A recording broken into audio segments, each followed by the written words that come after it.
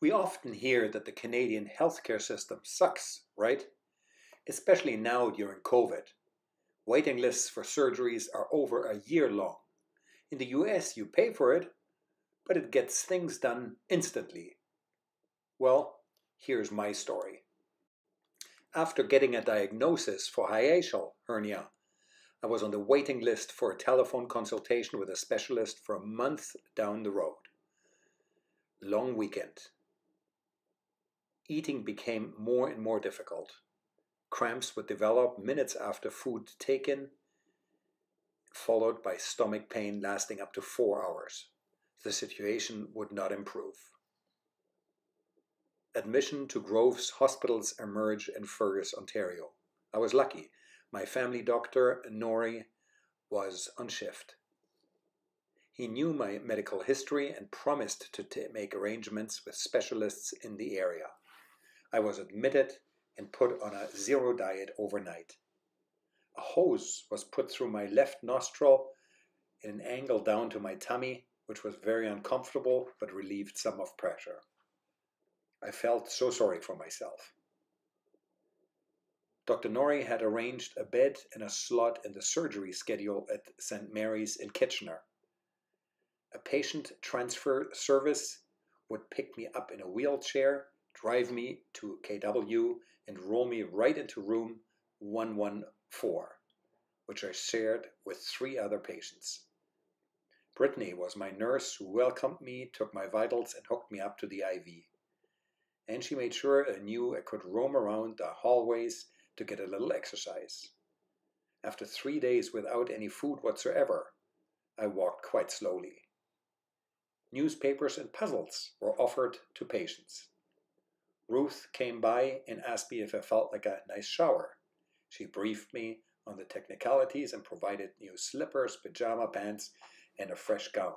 What a service, I thought to myself.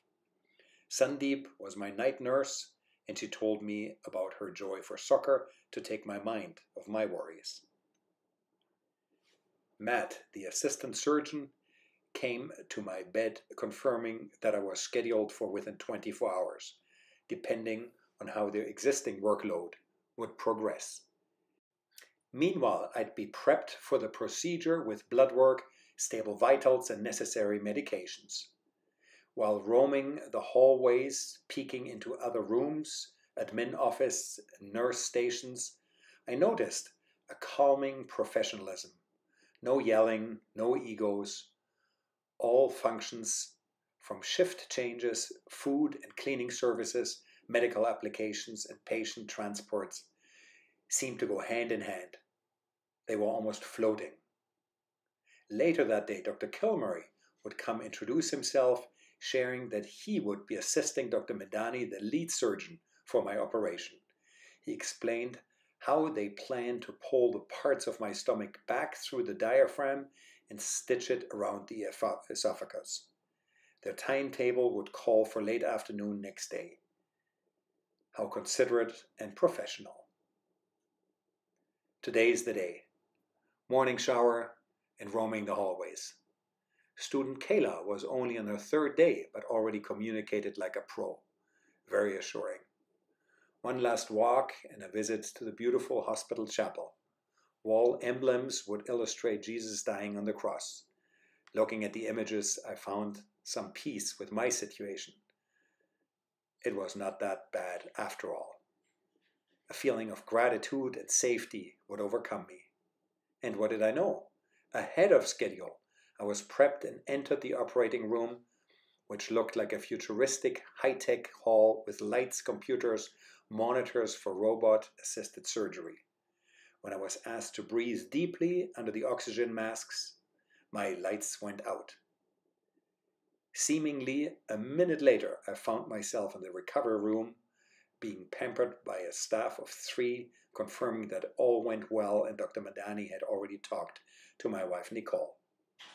What happened in that one minute was a three and a half hour surgery where five tubes would be inserted into my belly. They were equipped with miniature cameras, robotic arms, and assisting lights. No less than one third of my tummy, which had squeezed through the diaphragm, was pulled back and then wrapped around the end of the esophagus and stitched up. I now was one of the 15,000 patients St. Mary's helps per year. Vu, a young and very professional nurse, would hook me up to post surgery IV and make sure I'd be comfortable in my 12 position electronic recovery bed. Not much sleep that night because a catheter had to be laid to empty my bladder. What an uncomfortable experience. Next morning, the hospital nutritionist, Amy, would provide me with a full post surgery food guide and took me professionally through both choice and preparation. Nurse Geoffrey provided me with helpful information of how to lower my post surgery discomfort. And guess who came see me at 6 a.m.? Dr. Madani himself. It was Sunday morning and he had just finished an emergency surgery. He looked at me, his work, and asked me if I wanted to go home that day or rather stay for another day. He thought I was good to go.